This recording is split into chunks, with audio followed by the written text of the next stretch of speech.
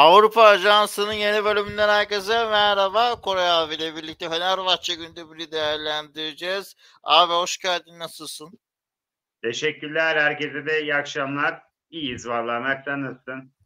İyidir abi. Fenerbahçe'de de e, tur geldi ama istenen oyun yoktu açıkçası.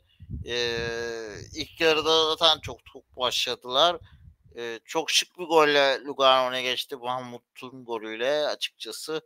Evet. E, güzel bir goldü.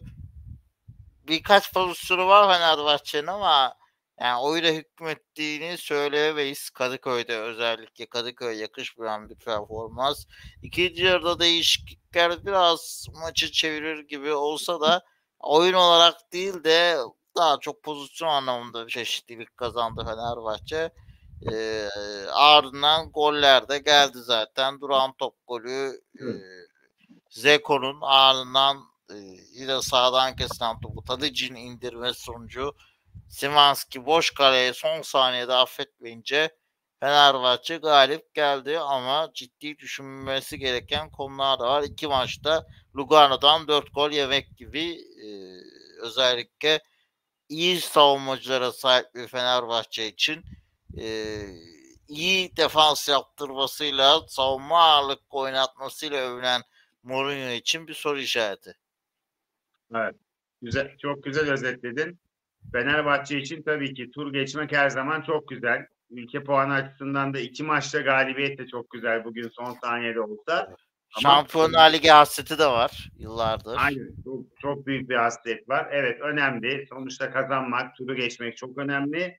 Ama Fenerbahçe taraftarının hani maça giden ya da televizyondan izleyen milyonlarca insanın e, bugün maç bitiminde çok mutlu olduğunu asla düşünmüyorum Mert. Yani e, Lugano'yu bir kere tebrik edelim. Bu kısıtlı kadroyla bence iki maçta çok iyi mücadele eden, ne yaptığını bilen, e, kapasite çapında da ne, e, iyi oynamaya çalışan bir takım. O yüzden öncelikle e, rakibi tebrik edelim. Fenerbahçe'ye karşı iyi mücadele ettiler oyunu çok çirkinleştirmeden güzel bir oyun oynamaya çalıştılar.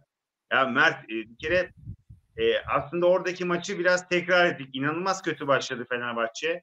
Zaten ilk yarı isabetli şutu yok Fenerbahçe'nin. Bir tek Ferdi'nin bir pozisyonu var kırık işte hatırlarsan. Ama karşı tarafta hani e, gol tamam muhteşem bir gol ama Livakovic'in hani son saniye bir e, eliyle çıkarttığı bir top var. 1-0'dan sonra 30. dakikalar. Orada 2-0'a gitse maç bambaşka senaryolar konuşabilirdik. Yani ilk yarı Fenerbahçe hiç oynayamadı. E, Fred'in sakatlanması çok kötü oldu ki galiba Mourinho'nun da dediğine göre değil maçlarında yok. İnanılmaz önemli bir kayıp. Yani e, şunu söyleyeceğim hani yayın öncesinden de ufak bir konuştuk ya. E, hocanın tercihleri bence Kurunic tercihi, Kurunic ısrarı. Tamam anlıyorum. Oyuncuyu belki pazarlamak istiyor olabilir. Oyuncuyu Serie A'dan tabii ki tanıyor olabilir ama Fenerbahçe ile Kurunic arasındaki ilişkinin e, Mayas'ın tutma ihtimalinin olmadığını bence Sayın Mourinho'ya daha sene başında daha antrenmanlarda söylenmeliyiz diye düşünüyorum. Çünkü olmayacak duaya amin diyoruz. Ya olmuyor. Ben kurun için kötü bir oyuncu olduğunu söylemiyorum ama Fenerbahçe'de olmadı ve olmayacak. E, sen gene yayın öncesi sordun ya abi neden Crespo hiç denenmiyor? Çok net katılıyorum ki e, sevgili Göksel'ine radyo gole bağlandığım onu dedim. Yani Kurunic kadar Crespo'ya şans verirse belki çok daha iyi olacak. E, ben bir karşılaşmasında da transferin geleceğini düşünmediğim için Mert. Yani çok kısa bir süre var çünkü. Yani orada kadroya ben Kurinç yerine Crespo'yu yazarım. Tabii hocanın tercihidir. Saygı duymak gerekiyor. Ama Fred de olmuyorsa e, oraya kesinlikle bir Crespo hamlesi gerekiyor. Çünkü Mert Hakan, İsmail, Kuruniç e, hattı pek ilili durdurabilecek bir orta saha gibi gelmiyor. Bilmiyorum sen ne düşünüyorsun. O yüzden e, yani Fenerbahçe golü bulana kadar çok sıkıntı yaşadığı bir maç yaşadı. Gene e, yaşı da olsa bence bugün de iyilerinden de çok da mücadele etti, yoruldu. Ceko'nun muhteşem kafa golü. E, ondan sonra da bilmiyorum gene katılacak mısın? Maçta neredeyse varlığıyla yokluğu bir olmayan Şimanski'nin son dakika golü. E, hoca değişiklikleri biraz daha önce yapmalıydı. Buradan net söylüyorum. E, Osterwolde Ferdi önü Fenerbahçe'nin Kadıköy'de yapmaması gereken bir e, durum bence hocanın. Evet tamam Oğuz hazır değil. Santi Maxim'in hazır değil. İrfan belki düşünmüyor hoca. Olabilir. Tercihidir. Ama bu, bu, bu kadar herhalde hoca da anlamıştır. Hep söylüyorum. Osterwolde çok sıradan bir sol bek bence ama çok iyi bir sol stoper. Ben Osterwolde'yi sol bekte yani, yani benim sol bekim tamamdır diyemiyorum. Mesela bugün sen e, Osterwolde'nin kaç kere iyi bindirdiğini gördün Mert. Ben hiç hatırlamıyorum bile. Ben de hatırlamıyorum. Yani kötü oyuncu demiyorum bak ama sol stoperde çok iyi. Yani Cico Osterwolde yapılabilir. Çağlar ve Beka durabilir ya da Beka Osterwolde yapabilir. Okeyim. Ki Ama ben- Beckham'ın da gideceği konuşuluyor abi. Mesela Yani evet. Osterwolde'ye Bologna'nın ilgisi var deniyor. Valla ıı, şimdi Levent Mercan hiç düşünülmüyor. O yüzden Osterwolde kalır gibi iyi bir rakam gelmezse. Evet ama Bercan'ı da gönderileceği konuşuluyor doğru.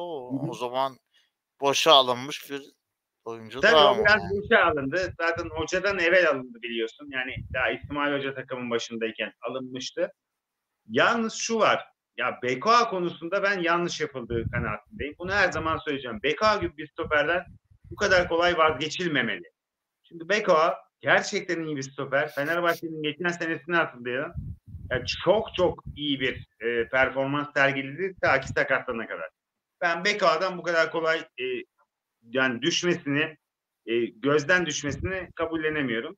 E, onun dışında hocanın Korinic tercihini artık yap kesinlikle artık yapmaz. Çünkü herhalde ilk ilk yere hatta ben Korunic'i 35'te falan aldım. Zaten oyuncu düştü.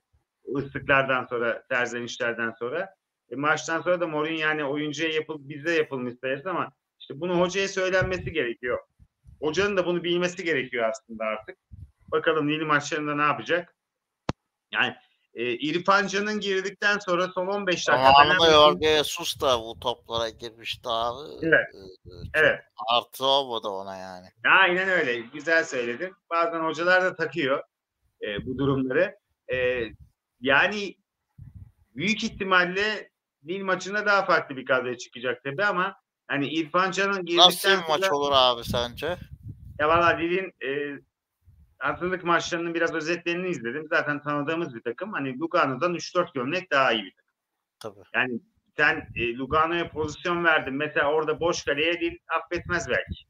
Yani orada 2-0 olur. Çünkü Livakovic'in üstüne vurdu. Eğer yerden vursa 2-0'dı maç. Yani e, daha zorlanacağımız turun ortada oldu. Yani Lugano Fenerbahçe'de tur Fenerbahçe'ye çok bakıyor. Yani 90'a 10 falan diyor. Ama bu sefer herhalde Fenerbahçeli olarak hiç kimse %60'a 40 bile diyemez. %50-50 der. Yani hatta ben Lille, Lille'li bir Lille'den birileri izlemiştir maçı. Biraz rahatlamışlar. Çünkü Fenerbahçe'nin bugünkü performansı Lille'e asla yetmez. Lille kötü bir takım değil. Önemli isimleri var. Ee, eşleşmek istemezdik ama yapacak da bir şey yok Mert. Hoca önlemini almalı. Çünkü Fenerbahçe'nin inanılmaz bir e, şampiyonluk ve Şampiyonlar Ligi hasreti var. E, Mourinho'yu da getirdiysen, çok ciddi rakamlar verdiysen bu hasretlerin bitmesi gerekiyor. Valla merakla bekliyoruz ne olacak abi. Ee, Evet. Kolay değil. Ee, inşallah Perşembe günkü soru da 3'te 3 zafer yaşarız. Yaparız yaparız. Yani üç Perşembe sürpriz olur zaten e, kötü sonuçta açıkçası. Ciddi bir avantajımız var diye düşünüyorum. Abi var mı ekleyeceğim bir şey ağzına sağlık.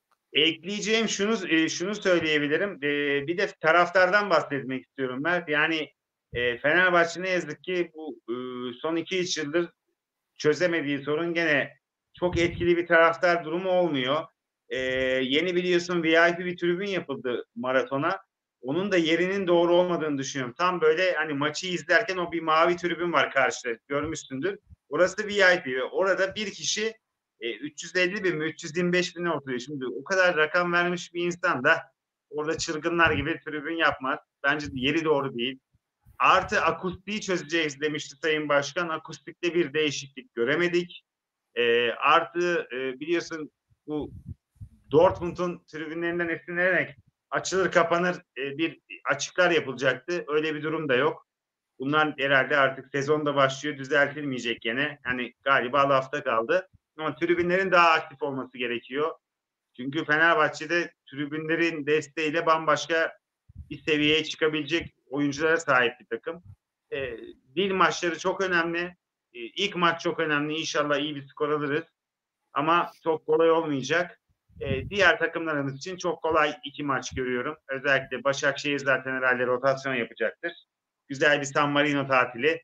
Hani San Marino'da çok gezilecek yer olmadığını tahmin ediyorum. Gitmedim ama gene de güzel bir gezi yapacaklar. Trabzonspor'da e, bir hazırlık maçı babında yapacaktır. Trabzonspor farkındaysan işte Okay Yokuşlu hamlesi yaptı. Eski Beşiktaşlı Vegors'ta anlaştı. Kulüplerde anlaşırsa getiriyor.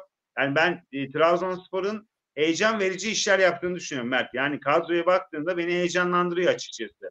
Yani özellikle hücum attı işte Vegors'u, Vakame'si, ne bileyim Trezeguet, Vizca.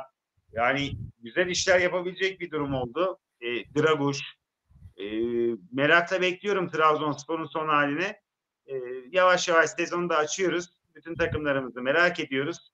Ama şu var Anadolu'da çok büyük sıkıntılar var. Ee, Anadolu futbolunda konuşmamız gerekiyor Mert. Ee, bir gün onda Anadolu takımlarını daha da çok takip eden arkadaşlarımızı da alıp yanımıza konuşmamız gerekiyor. Çünkü e, çok sıkıntılı durumdalar Mert. Transferde hani e, bunu affedersin tabiri caizse 5-6 Burnunun takımın ucunu transfer var.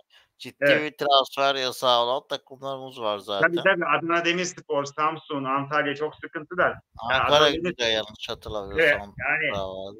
alt liglerde de var biliyorsun bunlar. Yani burnunun ucunu göremiyorlar. Bu da futbolumuzun gelişmesi için çok eksi bir durum oluyor. İnşallah düzelir. Çünkü takımlarımızın da işte Fenerbahçe, Galatasaray, Beşiktaş kendi aralarında oyna, oynamamalı. Yani diğer takımlar da bu takımları biraz zorlamalı ki biz de ligimizi daha zevkli hale getirebilelim. Kesinlikle abi katılıyorum sana. Bakalım neler gösterecek süreç göreceğiz. Ee, dileriz her şey daha iyi olur. Türk futbolu adına sağ ol katıldığın için de keyifli bir yayın oldu. Ağzına sağlık diyelim. Efendim bugünlük bizden bu kadar. Desteklerinizi bekliyoruz. Kanala abone olmayı, beğenmeyi, yorum yapmayı ve paylaşmayı unutmayın. Bir sonraki yayında görüşünceye dek de hoşçakalın. Hoşçakalın.